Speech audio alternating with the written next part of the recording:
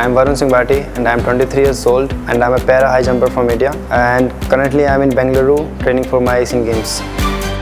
Uh, like it was five when I was five months old. My family found out that I have polio in my left leg. I'm a normal guy and I can do everything that everyone does.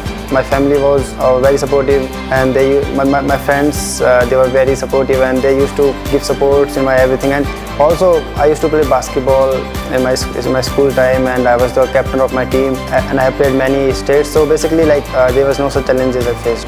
Uh, my only dream was to uh, play basketball further in my life and then but I never went up to play nationals and so I chose uh, to go into para athletics and then um, after I came into para athletics my only dream was to uh, play Paralympics and get a medal in it. I lost in Asian Games in 2014 14 and then again in 2015 World Championships but I did not give up on my dream and then again in 2016 I came up strong and uh, won Paralympics. I don't give, give up on things I like.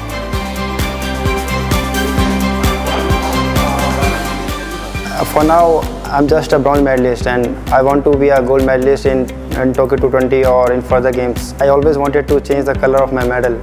I always, I'm improving myself further and like I'm getting stronger. I think like beside food and, and, and a good exercises, uh, it takes a lot of uh, courage and a lot of willpower and a lot of perseverance to get into games. Like you have to win into things and you, you don't have to give up on your dreams. That's the most important thing and why I chose AirAsia because they have a great team of uh, flight attendants and uh, and in the flight desk and everywhere they have a good team and I'm very well connected to them not only like professionally but emotionally. So yes uh, you have to be uh, very particular about your dreams and you, you have to give priorities to your team and you, you should never give up on your dreams. I don't want to repeat my last perform performance in 2014 and I want to do better here I worked hard for it like, like I told you, like, you don't have to give up on your dreams.